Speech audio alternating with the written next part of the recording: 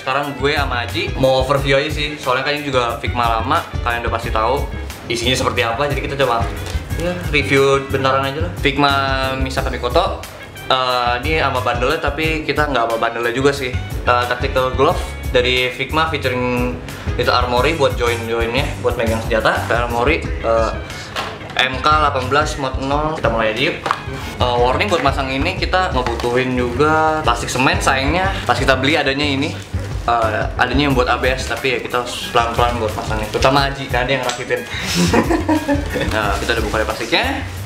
Nah kita buka. Buka pelan ini figurnya ada mukanya adanya ada baterai sini ada efek listriknya di sini. Dan juga ini ada spare join yang sama tangan buat megang poinnya ada buat megang handphone G-kotanya ada tasnya. Join-join tangannya juga ada standnya juga. Kita dapat Figma bag seperti biasa. Ah dulu ya ya kita udah dapat figurnya di sini. Eh, ini by the way ini second hand dari Jepang. Kita beli di Amazon. Oh, ini masih seret loh sih Iya. masih seret. Main sih ini boxnya. ya ini. Terhitung masih second. Bagus. Ada mukanya juga. Mukanya ya lagi embrace gitu lagi malu. Ada yang ini muka lagi cool cool gimana gitu pokoknya. Terus dia ada efek tertirnya. Dia agak lentur bahannya dia agak bisa dilihat tuh tuh tuh, tuh. oh dia ada tangan buat megang koinnya buat serang apa buat railgunnya jadi mau buat tangan kanan juga. Uh, dia ada join juga buat gerakin juga masih seret sih oke. Ini di tangan kanan buat megang headphone G-kotanya juga. Ada tasnya misalnya juga dan uniknya ini ada detailnya juga lengkap ada G-kota strapnya di sini. G-kota di hijau tentunya yang pasti ada Figma strap ada Figma base nya ada 5 jok tangan ya itu aja sih. Ini buat overview aja karena ini udah uh, nah Figma lama kalian udah pasti tahu juga. Kebanyakan dari kalian udah tahu. Kita skip yang hal baru yang buat kita hal baru. Little Armory. Ya, dari Tommy Tech yang ke-18 mod 0 manualnya ada instructionnya. Lalu ini ada semacam brosur. Ada semacam brosur. Oke ini ada parts-partsnya dan kita harus rakit. Sayangnya gue nggak bisa cuma Aji yang bisa soalnya gue emang nggak bisa kalau harus rakit soalnya nah yang, yang tadi udah lihat ini tactical glove dari Figma dan Metal Armory buat join tangannya. Jadi kalau kalian mau beli ini ya kalau kalau kalian nggak ada ini eh, sayangnya susah sih. Jadi disarankan untuk beli ini. Dia ada ada dua warna ada warna coklat dan warna hijau. Sekarang kita mulai mengerjakan eh, MK18 yang ini dulu di situ. Oke Ji, ini gue serahin ke lu Ji. Gue gak bisa Ji. Iya yang tentunya yang kalian butuhin itu adalah ini Cutter Pedang SNK Yang kayak gue bilang juga Kalian harus butuh pas lem eh, plastik, plastik semen sayangnya yang kita dapat buat ABS jadi tidak disarankan sebenarnya pak- pakai ini karena dia lebih kental dari plastik semen yang yang harusnya kita pakai. Jadi harus mulai hati-hati pakai ini. Karena kita tinggal nunggu Aji menyelesaikan pekerjaannya. Yang kayaknya bakal lama jadi kita skip dulu Iya. Senjatanya udah udah jadi, tapi masih lemnya masih basah jadi kita tinggal begini dulu. Kita mulai lihat-lihat dulu Figma Tactical Glove. Eh, kita nggak tahu ini bisa nggak ya buat Figma lama, tapi kita coba dulu deh. Eh, kita buka belakangnya. Hmm, langsung berantakan begini. Ini ada yang buat megang juga, ini megang juga. Eh, ini ada yang buat megang juga, buat narik pelatuk ya. Siap Standby. Ini buat standby sama di ta- beda tangan kanan tangan kirinya doang. Gang. Ya rata-rata sih sama semua sih. Tangan kanan dan tangan kirinya sih sebenarnya itu aja. Ini buat join-joinnya. Kita serahkan buat tukang perakit kita. Jadi your turn nih. Urusan dulu nih kalau gini. Tapi kita coba tes dulu buat apa buat Misaka. Entah bisa atau enggak. Kita tes aja dulu. Udah terpasang di situ buat tangannya. Bahannya karet ya Ji ya? Iya. Bahannya karet. Bisa patah nggak ya? Iya bisa patah juga sih, jadi hati-hati soalnya. Jadi kayak pakai glove gitu ya. Iya jadi pakai kayak glove sih. Iya, agak disayangkan sih warnanya coklat harusnya akan lebih kalau hitam sih. Tapi biar mungkin biar hanya aroma senjatanya juga. Copot. Ternyata emang agak susah sih. jadi bagian stoknya emang agak mudah copot.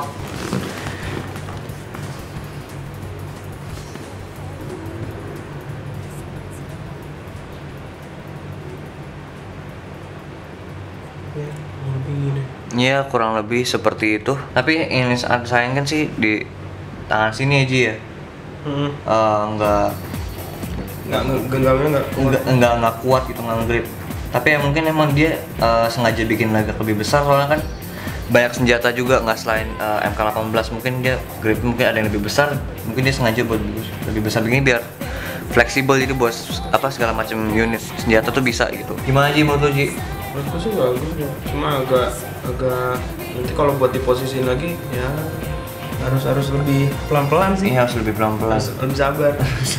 Ini kok dibuat posisi nembak gak susah ya? Hmm. Agak susah sih soalnya kepentok di join di bahu sini sama buat stoknya juga di sini.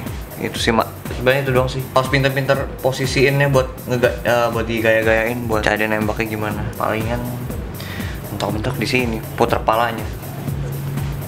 Ini kira-kira seperti ini. Ya pinter-pinter mau apa posisiin aja sih. Wow. Lebih jongkok juga.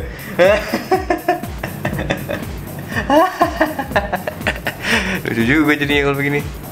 Tapi ya overall oke sih. Eh, oh ya dengan harga sekitaran ya 150 ribu lah. Itu belum termasuk shipping ya. Eh, kan gue ini eh, nitip teman juga ya, bawain dari Jepang langsung. Jadi nggak pakai shipping. Ya expect 200 300 ribu.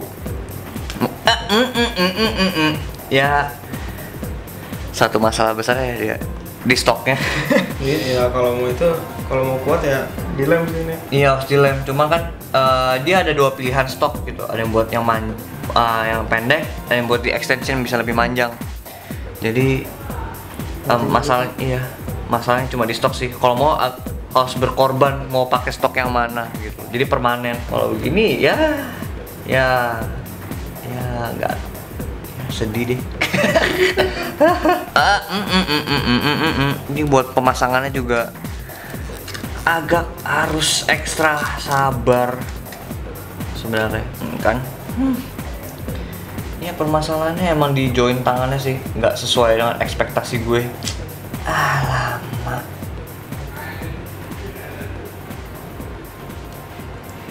Hmm, hmm, hmm, hmm, hmm. ya.